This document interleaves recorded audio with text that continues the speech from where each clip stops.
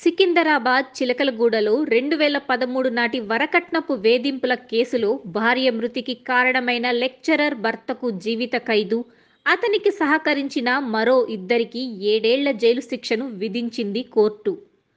మరిన్ని అప్డేట్స్ కోసం సబ్స్క్రైబ్ చేయండి రోల్ మీడియా టీవీ.